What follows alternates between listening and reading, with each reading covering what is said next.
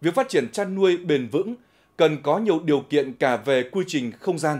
Do vậy, các địa phương, các hộ chăn nuôi đang nỗ lực cải thiện phương thức chăn nuôi truyền thống để đáp ứng yêu cầu của thị trường, trong đó có việc di rời chăn nuôi ra xa khu dân cư, đảm bảo các điều kiện về môi trường gắn với an toàn vệ sinh thực phẩm. Để thực hiện cũng cần nhiều nỗ lực của cả người chăn nuôi và chính quyền địa phương, ghi nhận tại huyện Khoái Châu. Với quy mô trang trại tổng hợp hơn 2 hecta, anh Phan Giang Đông ở thôn Yên Trung, xã Việt Hòa nuôi hơn 600 con lợn nái lợn thịt, 1.500 con gà và 5 ao thả cá.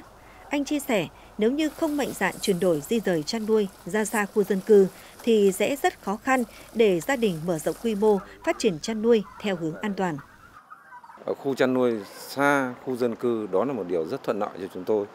Bởi vì à, thứ nhất là tránh được dịch bệnh, thứ hai là giữ được cái an toàn cho trang trại của chúng tôi.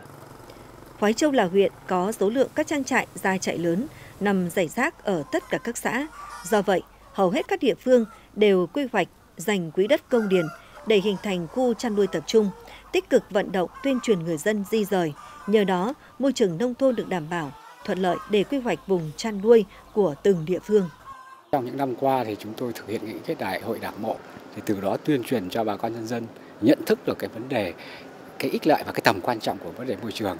Cho nên một số hộ dân cũng đã đề nghị với ủy ban nhân dân xã ra cái vị trí khu chăn nuôi tập trung. Trên địa bàn xã thì có hai thôn, là thôn Vân Trì và thôn Yên Trung, thì là chủ yếu là chăn nuôi trong khu tập trung. Còn ở các thôn thì chăn nuôi nhỏ lẻ bây giờ không còn.